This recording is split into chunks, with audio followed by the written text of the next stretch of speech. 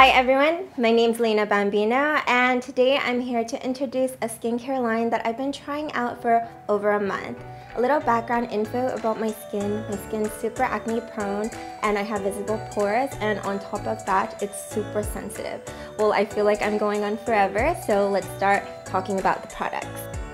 First I have the Moist Water Gel.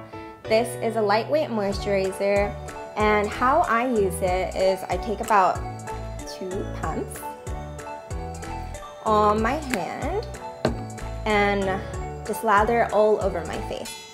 And I love how it's super lightweight, but it's super hydrating because I know a lot of moisturizers are sticky and you can't apply foundation right after. So if you're looking for a moisturizer that doesn't get sticky and you can just apply your makeup right away, this one's for you.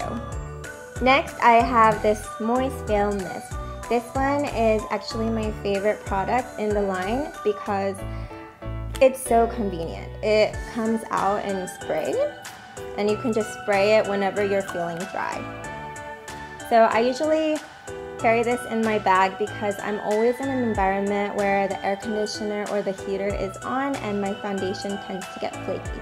But if I have this in my bag, I can just spray it all over and feel hydrated and moist. Next, I have the Moist Veil Cream. This one is a little bit more heavier than the gel, but it's also not sticky and lightweight.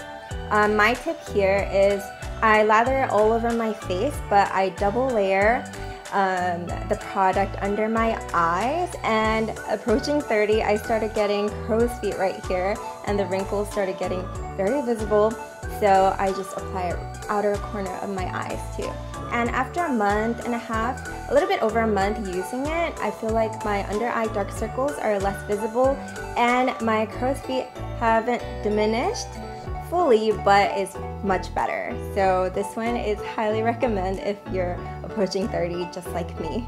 But remember, consistency is key. Finally, I have the Moist Veil UV Essence. Now this is actually a gentle sunscreen, so you can use it all over your face, neck, and even your body. And I'm always on a hunt to find a sunscreen that doesn't break me out or irritate my skin. But after using this for a little bit over a month, it didn't have a bad reaction to my skin, but at the same time, it made my skin very plump so I really highly recommend it. And if you're a gal or a guy who tends to take a lot of flash photography and is afraid that sunscreens leave a white cast, this one's for you because I've taken a lot of photos after using this sunscreen and it made me look great. So I hope you guys found my review informative and decide to try these wonderful products for yourself because you won't regret it. Thank you so much for your time. Take care. Bye.